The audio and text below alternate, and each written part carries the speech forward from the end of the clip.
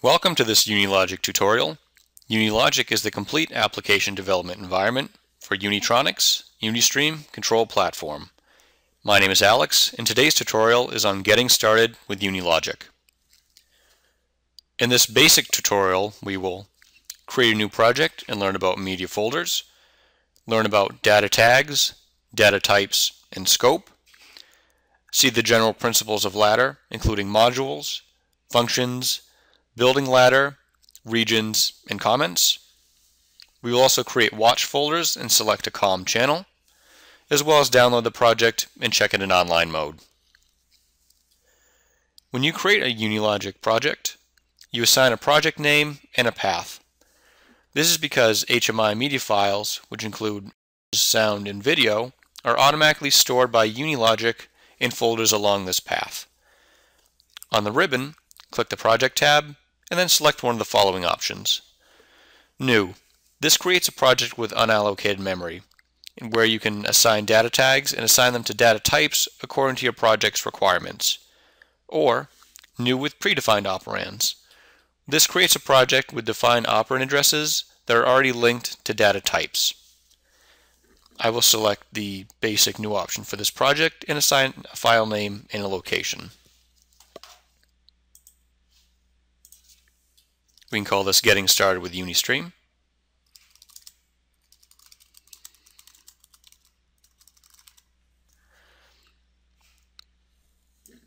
And then hit OK. Once the file is created, the application creates a media folder and subfolders for audio and video files. When you include audio and video in your application, UniLogic stores the files in these folders. Once the project is created, we can then select a controller. In the Solution Explorer on the left, navigate to the hardware configuration and click Controller Model.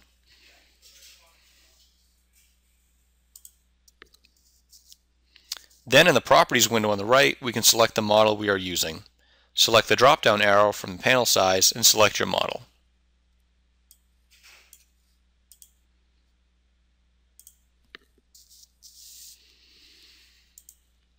Once the hardware is defined, we can start creating tags.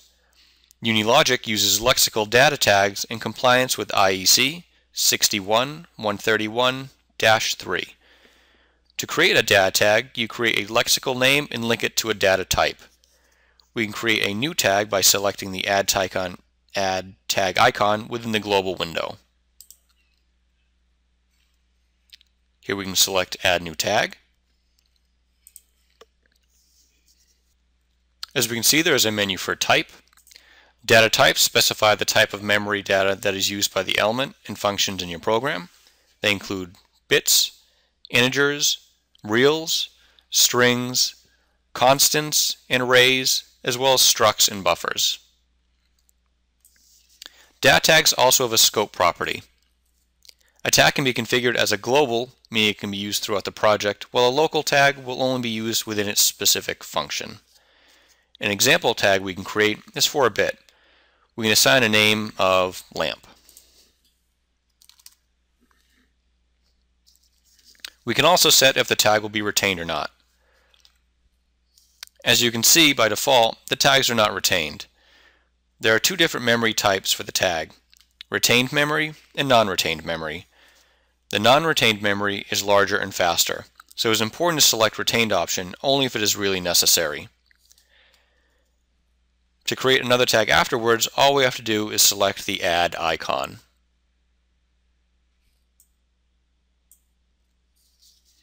Another example we can create is an array of bits for switches. We can assign the name of switches. We can leave the type as bits, and we can define an array length of 5. If you're done creating tags, you can just click Save. You can also create tags by right-clicking on the global window and selecting Add Tag.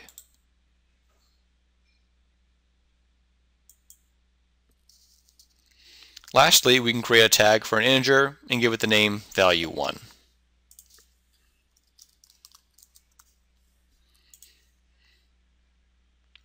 We can select a 16-bit integer.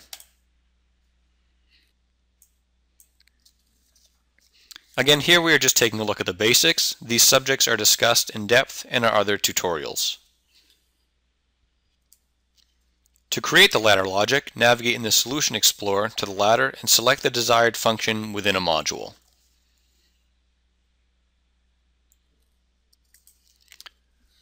We can then start placing our ladder elements. This can be accomplished through both mouse and keyboard entry.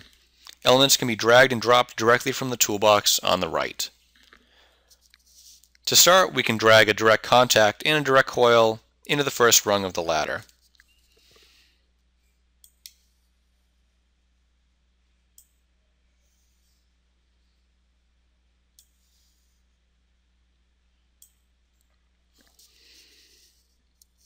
We can then assign tag information to these elements. When assigning tags, it will only display tags that can be assigned for the specific element type. For the direct contact, we can assign one of the switches from an array. Here's our array that we created for switches. When selecting from an array, it will automatically display the struct tag, and then when we select it, it will show all the individual created elements. The direct coil can also be assigned a tag. For this example, it will be linked to our lamp tag.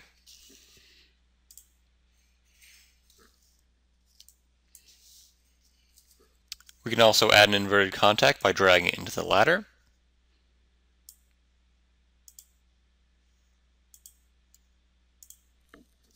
Modifying the order of elements is also easy since you can drag elements in series or in parallel by aligning them and placing them on a desired node.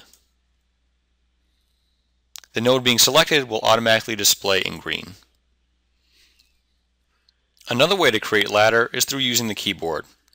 You can move to the toolbox by hitting Ctrl and T,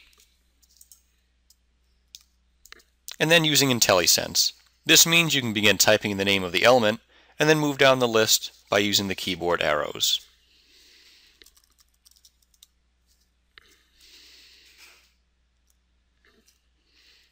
You can then press enter to place the element.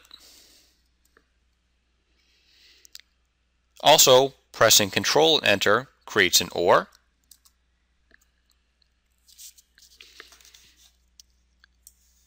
You can also drag elements directly into the ladder.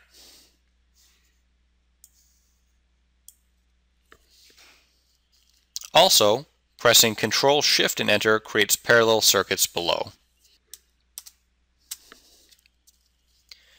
You can also build rungs using the commands on the Ladder tab ribbon up top. I can also add some different elements from the toolbox. Maybe an incrementer.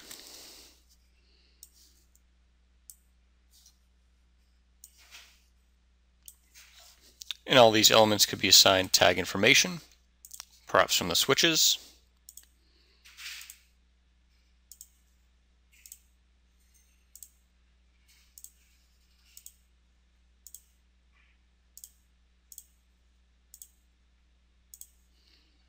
And the incrementers can be linked to our value 1 integer. And that's as easy as it is to assign tag information. Also available are comments. Right click on any net and select show comment to view a comment for that net. You can then enter any text necessary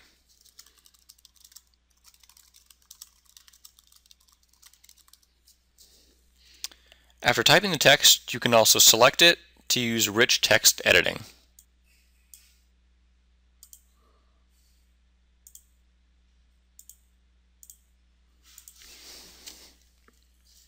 Also available are regions, which enable you to visually organize your program. You can add regions to a ladder function. Uh, you can then assign each region a name, add a comment, and select a color. In addition, you can also jump from one region to another within a function. By default, the function has a single region, though you can click the ribbon icons to add regions and assign region colors.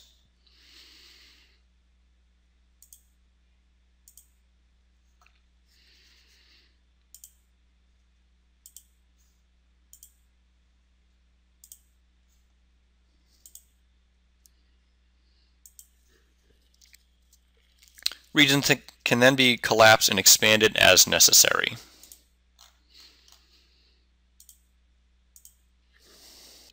Also helpful is building watch folders, which can be viewed in online mode. To do this, select the Watch tab, and then click the name field to add tags.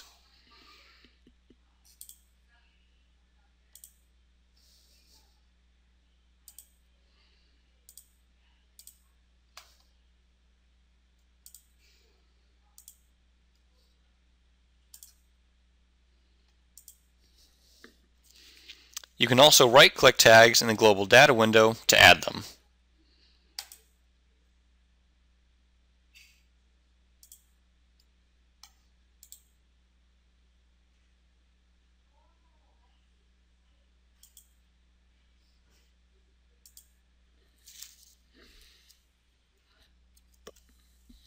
Once you're ready to download, you can first establish PC to PLC communications via Ethernet or USB cable.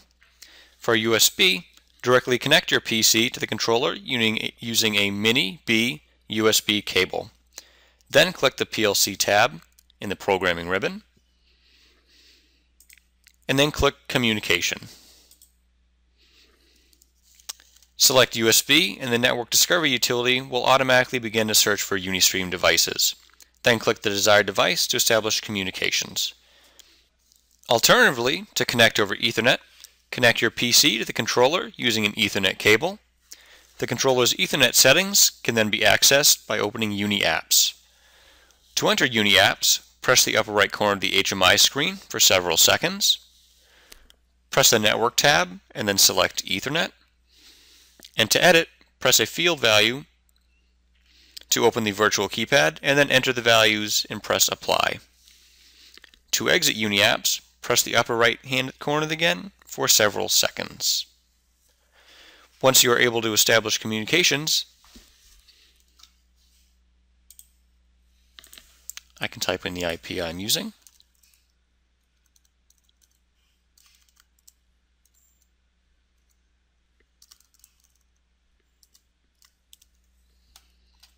I'm able to get communications, and once you're able to establish these communications, navigate to the PLC ribbon and select one of the download options.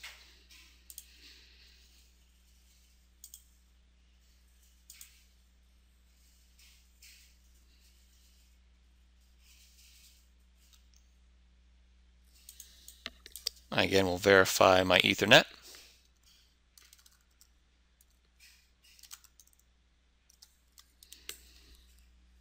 And then I can select download.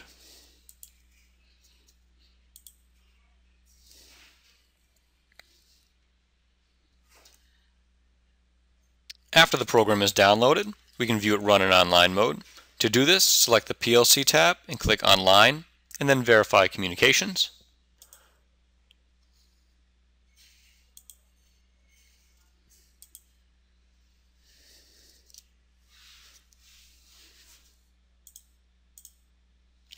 We can then view the ladder directly and modify any elements. We can also view any online values in the global window.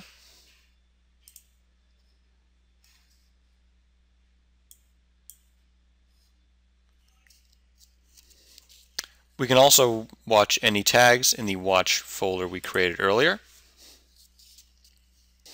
This concludes the tutorial about getting started with UniLogic. You can find more information and example applications on our website.